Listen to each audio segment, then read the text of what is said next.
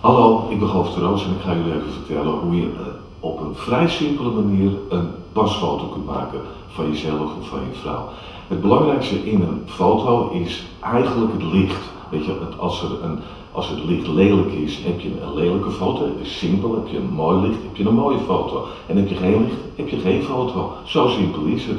De voorwaarden die ervoor gelden voor eh, een pasfoto, of je oren moet zien, of je voorhoofd, of weet ik veel wat je wel of niet mag laten zien, die staan ergens hier op die website, kun je op klikken en dan eh, eh, kun je ze allemaal even lezen. Nu gaat het even om het licht.